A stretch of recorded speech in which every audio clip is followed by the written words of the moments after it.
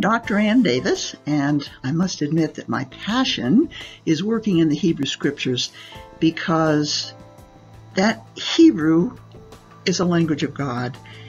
God is infinite and his language is infinite. It's just, it's amazing when you work in, in Hebrew with the, the depth that you can see in that language. So what I'm going to do now is I'm going to take you into the Hebrew alphabet. Since I certainly believe that, that God inspired the holy, the, his holy word, that there is spiritual meaning in the letters. Certainly the ancient Jewish sages believed there was spiritual meaning in the letters. So that's what we're going to do now. Let me take you into the first letter, which is Aleph, and I'll read you my introduction. Jewish tradition attributes spiritual meaning to all 22 letters of the Hebrew alphabet. You will discover that the depth of meaning is infinite, which reflects the nature of God, who is the author. We will begin with the letter Aleph, of course, because that's the first letter of the alphabet, and you will experience the emerging depth of its uh, spiritual significance. Now, Paleo Hebrew, uh, before the formation of letters, there were pictograms. Pictograms are pictures that convey um, a sound. And the early Paleo Hebrew that eventually became the letter Aleph was the head of an ox. So I, I think I think it's very interesting to see this this Paleo Hebrew um, pictograms because it helps us understand the spiritual meaning. The ox is a very powerful animal, and so it represents strength, steadfast, and and and being yoked together. All right, because you, you can't do the work of using your strength unless you're yoked together. So that I, I find this very interesting, and I show that to you, the, the Paleo Hebrew. Let's take a look at the power of the number one. The number one stands alone because it cannot be divided. All right? Can't divide it. The number one stands for God. Well, that makes sense. The number one contains immovable power. All right, so let's take a look now at where the number one first appears in Scripture, and that's creation account. We have uh, the number one is uh, day one is Yom Ehad. You read from the right to the left. Yom is day, Ehad is, is our number one. I put it in red it's our number one. So in the creation account, we read, God called the light day, and the darkness he called night. And there was evening and there was morning, Yom Echad, day one. Now, this is really significant because what we see at the very beginning of the creation account is that there is a separation between God and an, an anti-God, right? We can call it Satan or the, the world the, that, that contains the evil as, as contrary to God. Now, the first letter, of course, is Aleph, and I, am showing you the, the, letter Aleph. And the ancient Jewish sages uh, were, were fascinated by the, the shape of the letter, and let me show you. There are two little appendages here um, uh, on the letter Aleph, and they look like letter Yud, which I'll, now you can either say Yod or Yud, either one. I was taught to say Yud, so that's what I'll say, the little letter Yud. So you get a little letter Yud on the top and you get a little letter Yud on the bottom. And what they uh, suggested was that the upper Yud represents heaven, the lower Yud represents the earth. Now, in between those two little appendages, there is the letter Vav. You see it, the letter Vav? And the Vav, according to the Jewish sages, connects God in heaven with his people on the earth. I find that really, really, really powerful because throughout the ancient Near East, the this connection with the spiritual power of God didn't really didn't exist. Let, let me show you here in, in Babylon. In Babylon, they built a ziggurat, which was a, a temple and we we it, it's no longer standing, but we know about that temple. We can reconstruct it because of the writing on the cuneiform tablets, which I, I, show you here, the cuneiform tablets. So what we have here is we have seven layers with stairs leading up to, to the very top. And you see the stairs on the outside, and then you go inside, and the stairs continue until you get up to the very top. So it's it's very high to get try to get up to God. How how do we get up to God? It's very high.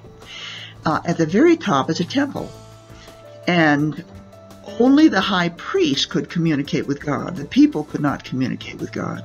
They had to give things to the high priest so the high priest could communicate for them. Now that's very different from, from Israel. And Israel, well, I'll show you in just a minute. I want to show you about Israel because it's very different from the, the ancient Near East. Here is, is uh, Moses and the burning bush.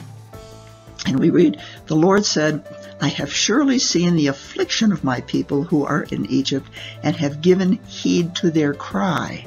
So our God, the God of Israel, hear, hears us and he wants an intimate relationship with us, which is very different from the ancient Near East. Because hear, heed to their cry because of their taskmasters, for I am aware of their sufferings. So I have come down oh, I, I, I've got chills. I've got chills just thinking about it because um, the God of Israel, our God, comes down to us. I have come down to deliver them, my people, from the power of the Egyptians and to bring them up. Now that's bringing them up. It, it, it's symbolically bringing them up to me. So God comes down and then he gives us instruction on how to go up to him, okay? To bring them up from the land that a good and spacious land to a land flowing with milk and honey. I just, I can't tell you how powerful that is. Now, I want to um, show you the, the, the Jewish phrase tikkun olam. Only mankind has the ability of recognizing and imitating his creator. This is in the Hebrew scriptures, thereby bringing holiness into the world. So as we strive and grow in maturity to become holy, we grow closer and closer to God, and then the holiness that, that, that we are exhibiting is bringing holiness into the world, and that's what Tikkun Olam is. Tikkun Olam means repairing the world. And how do we repair the world? We repair the world by by growing closer and closer and closer to God in a whole, holy and holy and holy condition. And that's how we repair the world because we shine out the, the, the, the wonderful goodness of God from within us as we mature in holiness. Now let's take a look at insights that we get from the letter Aleph. Well, Aleph is the number one, the first, the beginning. One cannot be divided, so it stands alone with power. And of course, the number one represents God. On day one, God separated light from darkness. Now, this is the, the probably the, the underlying theme of the entire holy writings. Separating light from darkness. We, we're in the darkness, and He's bringing us into the light, which is, is, is in God's presence. So that separation of light from darkness is the foundational principle throughout all of Scripture. Our God is the only one among all the gods who comes down to be with his people. And furthermore, he is giving us instruction through the holy writings, and he has sent his son, the Messiah, to, to, to guide us on coming up to him. Now that's that's symbolically coming up to him. All right. So, so the earth is down and God is up and he comes down to give us help so that we can come up to him. It's, it's, it's really powerful. Now, see, uh, the Bible Interact website, BibleInteract.com, offers, I think it's well over a thousand teachings. Uh, we have different categories. We have a unique look at the gospel, the New Testament. We don't go into the New Testament like, like you probably learned in the church. We're really seeking for that deeper meaning, uh, especially deeper meaning in the language. And we also work with the culture of the time to help understand the meaning in, in the gospel. About Bible times is very important to understand the, the, the, surrounding of what was happening when, when uh, Yeshua was talking. Biblical languages is a very important part of what we do. We offer um, online instruction both in Hebrew and in uh, the Koine Greek, which is which is the New Testament. Um, we we have blog articles which are which are very uh, popular. People like to read our blog articles. We have numerous courses that you can take. They're online, self-grading, so that you can take these courses uh, on, a, on numerous topics about Scripture. Hebraic studies is probably our most important area of, of study, and at the last time I looked, I think we had well over 700 teachings of Hebraic studies. Let's Talk interviews are a lot of fun as, as we interview different people about their ministries. Podcasts we, we offer, and you know, I like the podcast because I can listen when I'm in the car, when I'm out walking.